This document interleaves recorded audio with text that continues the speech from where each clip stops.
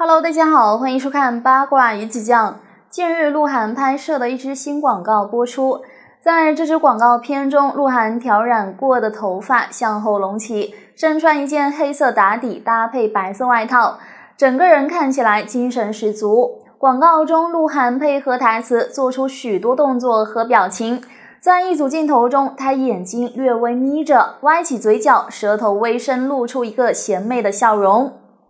这支广告播出后，很快得到了大众的关注和热议。有网友留言：“歪嘴邪魅笑还伸舌头。”有网友表示：“翻看了一下他以前的头像，年轻真好。”也有网友言简意赅的在评论区留下“妈呀”二字，似乎对鹿晗在广告中的变化不能接受，反而呢更怀念之前的他。鹿晗自从韩星出道以来呢，一直在娱乐圈里是流量不断。之后参加《奔跑吧兄弟》，又出演过许多的影视剧，和国民闺女关晓彤官宣后，更是吸引了更多的粉丝。很多不了解鹿晗的人呢，总说他是幸运的。鹿晗从一个替补生到练习生，最后成长为公认的巨星的背后，是我们看不到的艰辛与努力。鹿晗是在明洞逛街时被 S N 娱乐公司星探发掘，由于长相俊俏可爱，便准备呢签约作为练习生。由于没有给鹿晗书面的正式协议，所以并没有让鹿晗进公司训练。当时鹿晗等待的太漫长，让人呢忘了最初的意义。语言上的障碍让鹿晗始终没有拿到练习生的资格。此时的他呢，做了一个很大胆的决定，去韩国延世大学学习韩语。通过一年的努力，不但通过了韩语等级考试，也考上了首尔综合艺术大学实用音乐艺术系。同年被 S N 娱乐被提作替补生，这里入队呢还远远不够。每天鹿晗坚持流畅的阅读一篇当天的新闻报道。终于在二零一零年成为了公司名下的练习生，从此严格又残酷的训练就开始了，每天集中训练十多个小时，三点一线的生活就这么开始了。在这一年半的时间中，除了训练就是睡觉，努力坚持，经常要在他的脑海中出现。对着这样的目标，最终鹿晗成功了。二零一二年组合 ESO 正式出道，二零一三年发行的第一张专辑销量就突破了一百万张。二零一四年，感觉在公司条条框框下难以展示自己的鹿晗，正式通过法律途径与 SN 公司解约。之后，不管是影视、综艺还是音乐，在娱乐圈是多面开花啊。鹿晗是近几年当红的人气男星，他因外形出众，在街上被星探看中了，成为了练习生。二零一二年开始正式成团出道，在组合内，他唱跳都十分的出色。那个时期，鹿晗凭借自己的外貌获得了大批粉丝的喜爱。选择回国发展后，鹿晗也曾参与多部影视剧的拍摄。在《重返二十岁》《穿越火线》等影视剧中呢，都可以看到他精彩的表现。近日啊，他还现身一档正在热播的综艺节目中，以另一种方式为大众带来欢乐。在这档节目中，鹿晗表现相当活跃，他与一同参与录制节目的黄渤、陈赫之间的互动也是非常的搞笑轻松啊，丝毫没有偶像包袱。鹿晗的高颜值呢，一直都是他身上最闪耀的标签之一。但除去颜值，他还是具有很多其他的闪光点的。希望鹿晗今后在节目或作品中呢，多多展示自己各方面的才华。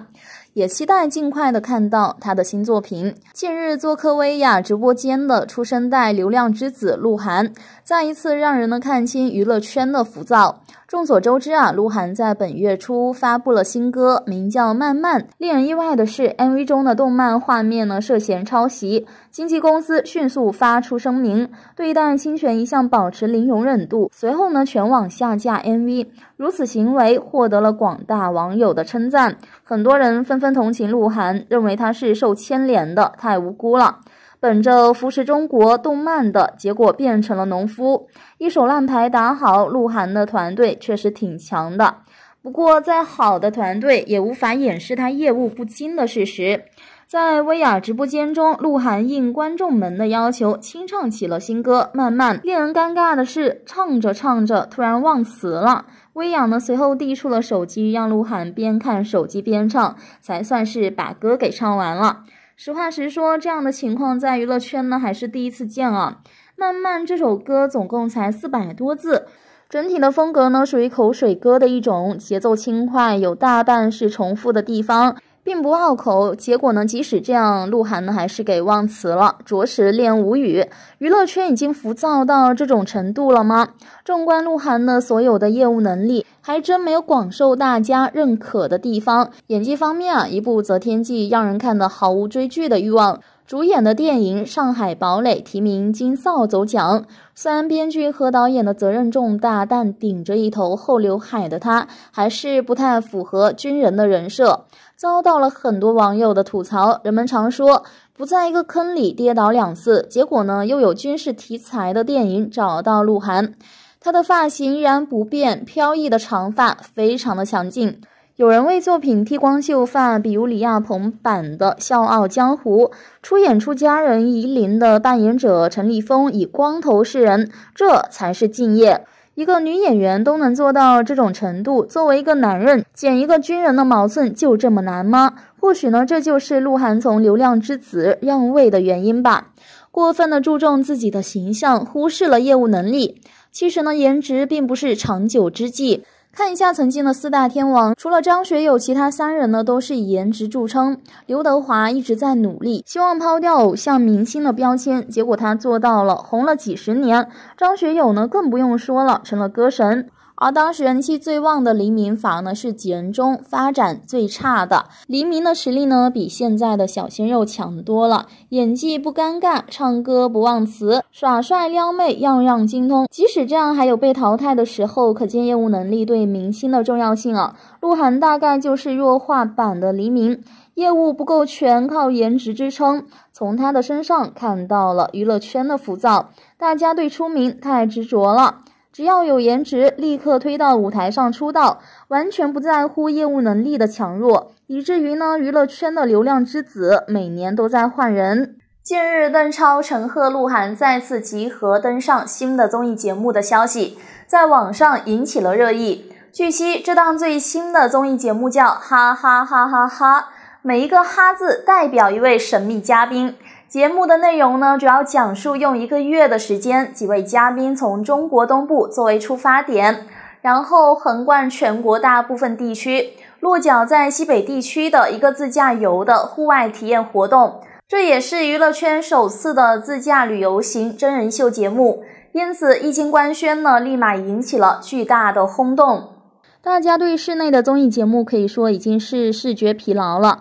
这档节目给大家耳目一新的感觉。严格上来讲，哈哈哈哈哈是一档网络综合真人秀。同时，这个节目呢也是由网络巨头腾讯直接支持的，可以说在平台方面是占据优势。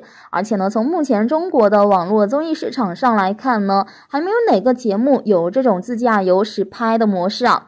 因此，哈哈哈哈哈，非常的具有潜力，但是否能够让观众认可呢？还需要大家拭目以待。鹿晗、关晓彤这对颜值在线却始终得不到祝福的京城 CP，无数次被造谣分手破裂，放出来的各种类型号的瓜，甚至比闰土插茶的瓜田还要大。但鹿晗在这一点上，则要比个别其他的男明星优秀的多。自宣布恋爱后，至今尚未犯过所谓男人都会犯的错误，还是格外爷们儿的。近日呢，有网友于兰州偶遇了行程中的鹿晗，通过照片，眼尖的网友再次发现了鹿晗、关晓彤二人暗戳戳送出来的新鲜狗粮。图中可以看到啊，鹿晗的行头潮流帅气，穿着关晓彤最喜爱的品牌服饰。